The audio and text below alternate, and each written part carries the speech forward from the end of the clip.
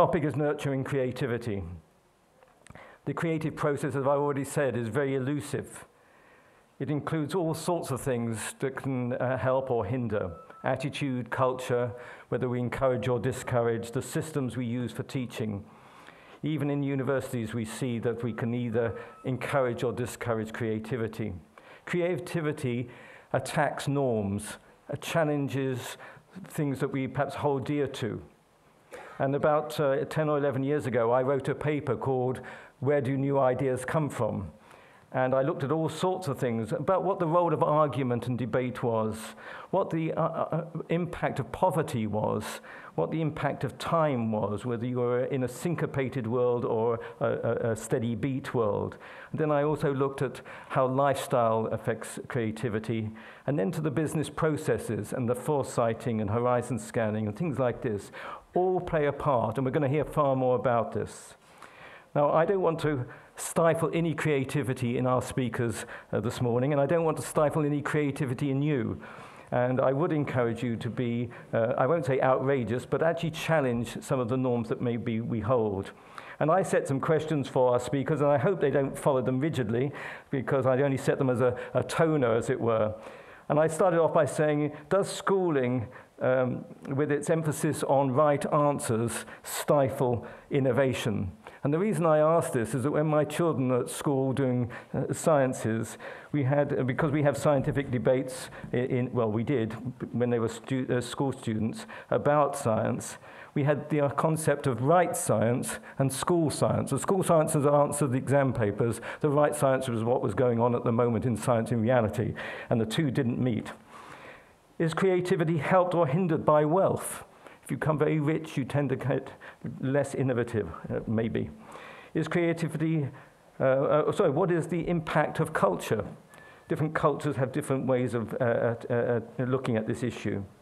The impact of new technologies, 4G as it comes on, what's it going to do for us, and how can we encourage new ways of using technology without becoming slaves to it? And what about open innovation, the way uh, industry actually looks at uh, creativity and innovation? How far can we encourage this, or does it encourage creativity? So this is a debate.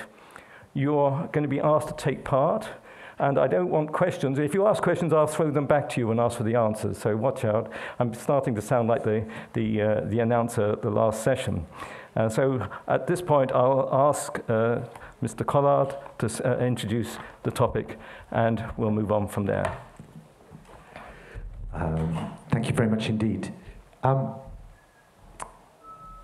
as a program, Creative Partnerships has been uh, working for eight years in England now, trying to unlock creativity in children and young people. And our concern is uh, primary school and secondary school.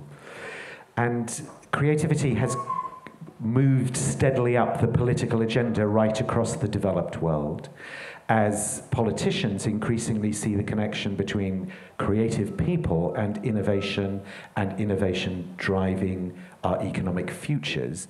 Because particularly in the developed world we're no longer really competitive in mineral extraction or in manufacturing and therefore ideas is going to be the new oil and that's what we have to tap into amongst our young people but in our work, um, as we have focused on developing creativity and how you can develop it in the classroom, we have found that the process uh, inevitably brings you into conflict with the current education system and begins to ask very fundamental questions about how we teach.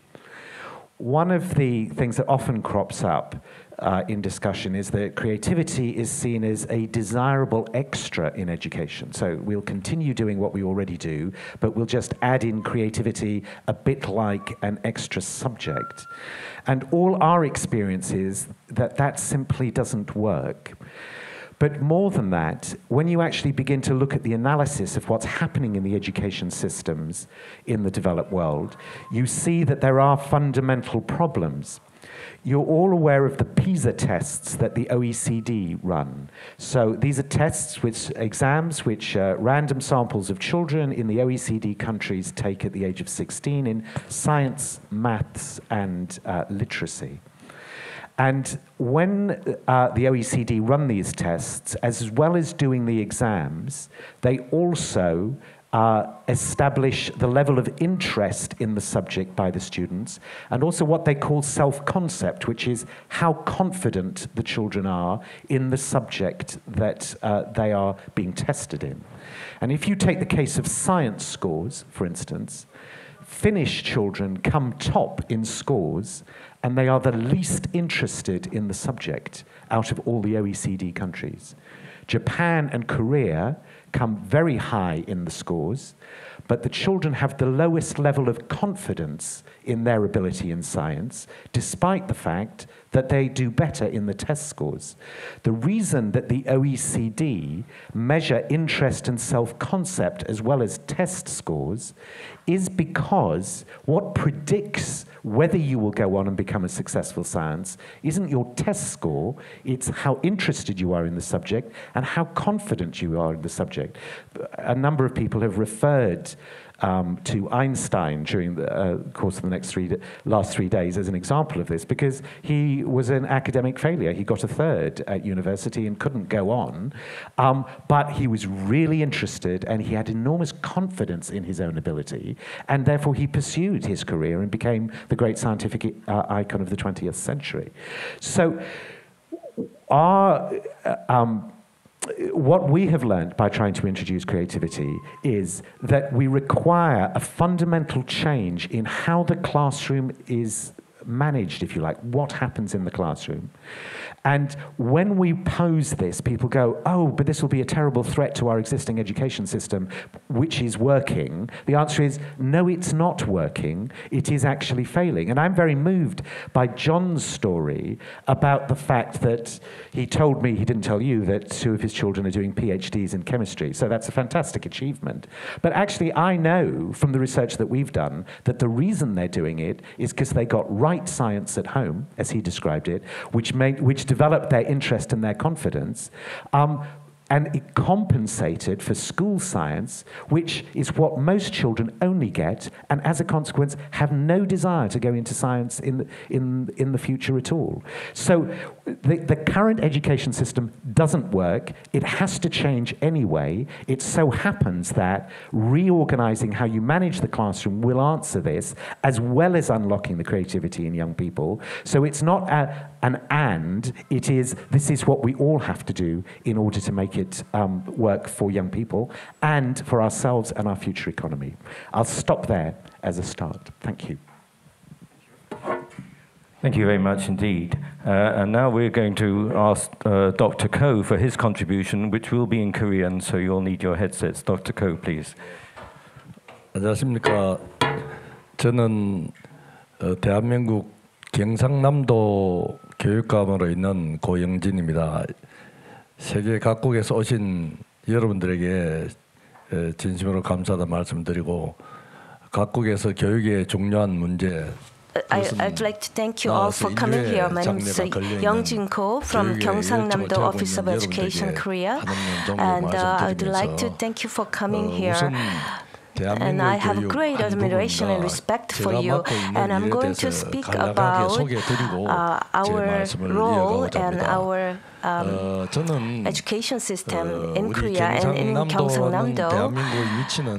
The Gyeongsangnam-do in Korea is located on the south uh, eastern part of Korea. We have about 3.4 million uh, people. It's the coastal uh, province. We have uh, shipbuilding industries and electronics industries and uh, fisheries and um, agriculture industry. 도입니다. And, and that's our province.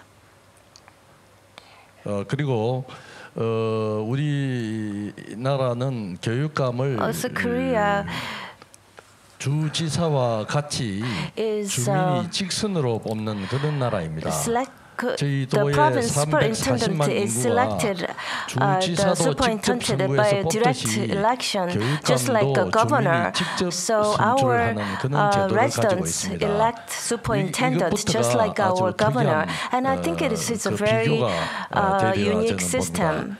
교육감의 임기는 The 주지사와 terms of 마찬가지로 superintendent 4년을 is four 하고 years, 있습니다. same as that of uh, 그리고 저는 governors. 이미 And 4년 um, 임기를 마치고 I uh, 두 번째 completed 연임이 my 되어가지고 um, 현재 term and 약 I'm serving the second 6년간 term. 저희 So for the 경상남도 past six 교육감으로서 years, I 어, have been 근무를 working 하고 as uh, 있습니다. Gyeongsangnam-do 저희 교육청 province 안에 있는 다시 superintendent. 말해서 경상남도 교육청 산하에는 And uh, under our 유치원, province education, we have a 초등학교, kindergarten, 중학교, elementary school, 고등학교를 junior high schools and senior high schools.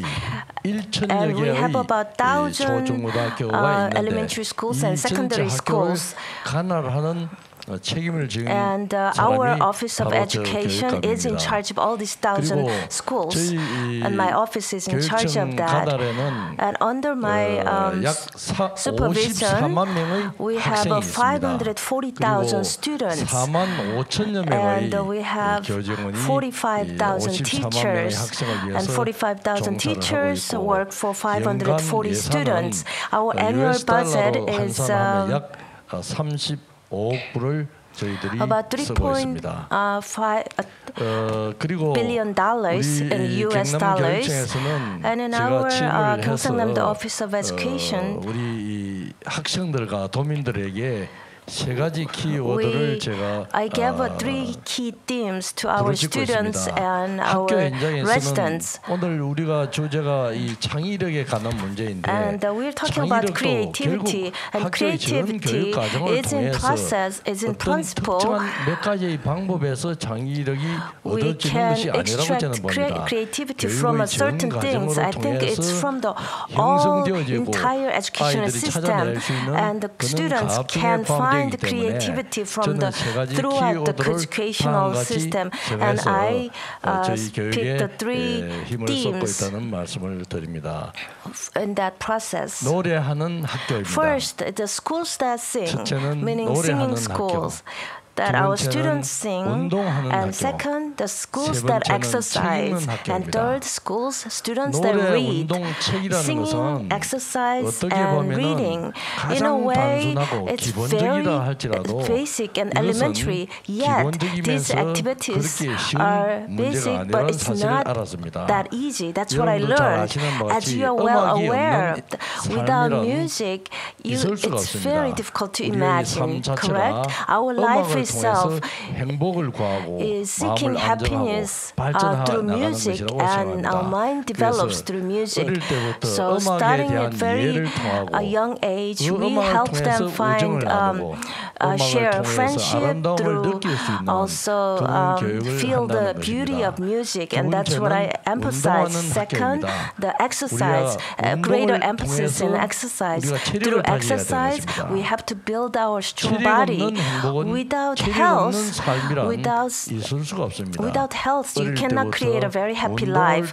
So I emphasize uh, exercise. So entire student family, the schools focus on exercise. And I think that that depends on also whether we can succeed or fail. Not just the school life, but also life in general. And uh, that's the second theme that we have been emphasizing. Third, uh, students, everybody has to read through the enjoyment of uh, reading. 있는 최대의 the 창의력이 students 이 can develop 창의력을 their 찾아낼 수도 creativity 있고 and they can also 새로운 find their 지식과 own creativity 정보를 through reading 얻을 수 있는 것입니다. also find the 책 new 읽는 information and 습관이야말로 knowledge so 학문하는 습관, cultivate the 공부하는 habit 습관이 to read 되리라 봅니다. and also 결국 that is the fa- 학문과 basis and 공부는 foundation of 자기 the study 주도적 학습 능력을 길러야 되는 것입니다. and that they, 자기 through 주도적 that they 학습 can 능력을 be 기를 수 있는 um, 방법은 독서의 independent 습관을 thinker. 통해서 So 독서의 through 습관을 the 통해서만이 habit of 자기 reading, 주도적 I think 학습 that one 능력이 can 신장된다고 be 보기 an 때문에 independent thinker, 저희들은 독서를 and that is why we 습관화시키기 also 위해서 uh, 여러 가지 have 방법을 heavy 강구하고 emphasis on 있고 reading, and 저희 we've been 도에서는 thinking 우리 various 경남 ideas 교육청이 to 주관이 cultivate that. 돼서 That Gyeongsangnam-do Office of 독서 Education 조례를 uh, has a 모든 reading 도민들에게 ordinance, so all the 독서에 대한 residents in 이해를 our 높이고 province 있고 um, 도민 독서 read kids, and we also have a reading campaign for entire province, and try to give more opportunity for children to read. We are we have various programs. So using these three. Um, active types of activities, the Gyeongsangnam-do Office of Education 자치 시도가 uh, 있습니다만 uh, independent uh, Office of Education and we 도가 바로 저희 경상남도입니다. 여러분들 잘 아시는 바와 같이 among all the other Office of Education, as you are well aware of, after World War II, 어느 나라에 있습니까? Which country developed the fast? Japan and Germany, they already had the resources and skills and talents already, whereas Korea did not have any natural resources, talents, skills. Uh, they didn't have anything. But now, uh, Korea become one of the G20 countries, and we are a very powerful, economically powerful country.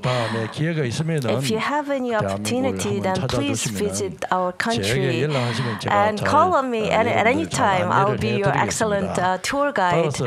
우리 경상남도는 이런 교육을 통해서 다른 시도에도 저희 도가 하는 음, 그런 교육 프로그램을 많이 벤치마킹을 하고 있습니다. To learn 이렇게 um, 해서 from what other places are doing, and also we have been doing benchmark. And through this education, Korea has developed quite rapidly. And with the strength of education, Korea became the one of the advanced developed countries. 말씀드립니다. 창의력이라는 것은 Creativity 그 사사건건 크고 작은 일로 인해 가지고 다소의 변화는 줄 수 있지만 can bring some changes, 전 과정을 통해서 창의력 없는 교육이야말로 살아있는 교육이라고 할 수 있기 때문에 educational system without creativity there cannot be any education. So we have a, a variety of programs to cultivate creativity. And um, if you want to know more about it, then I can elaborate on certain uh, cases for you. 오늘 이 카타르 재단에서 처음으로 어, 우리 한국어를 이렇게 uh, 직접 말을 하, 하더라도 I'm very excited to have an interpreter, and I'd like to thank Qatar Foundation to provide Korean interpretation. And uh, even next year, I hope that other um, Korean speakers would come, and please continue to have Korean interpreters. And I'm going to stop my remark now. Thank you very much for listening. Well, thank you very much to both speakers, and especially. Uh, uh, the translator too with a very clear translation. Thank you very much indeed. Um, we saw two sides of uh, approaches there with uh, Paul uh, emphasizing the ideas of the new oil. Last time when I was here, I picked up a headline in the Peninsula newspaper saying data is the new oil. So we may have a debate on which of this, them really is the new oil. But also pointing out that creativity is not a subject to be taught uh, and that education systems are failing completely. Uh, uh and I say quite often my view there is that teachers are actually afraid of the risk taking rather than embracing risk taking taking by saying, I don't know. It's a, it's, it's a cultural thing as well. Uh, and Dr. Ko bringing out his three themes of singing, exercise, and reading. It's about the holistic approach again to education. I was fortunate to go to a school where we had to exercise every afternoon, uh, rain, shine, wind, snow, or ice, and it was good for you. Uh, we also had to wash in cold water, which is even better for you. And uh, finally, we had to go to chapel twice a day to sing. So I think I can concur with your three themes. But I think the thing there was it wasn't the three themes, it was actually looking at education as a holistic approach and not just as a classroom approach. And as you were talking, I was just thinking of the report we did for the European Commission about the next 20 years, where we talk about a new renaissance for Europe. And one of the speakers this morning slightly poo the idea of the renaissance was uh, people who are holistic but not in depth. We need both now. We need to be holistic and in depth, and how we take that forward. Now, I did say that this was going to be a debate, and I hope the lights will turn up a little bit so I can see you. Uh, there's one member of the audience who crept in later, Diran, who I'll pick on in a moment, so I'm giving you warning. Uh,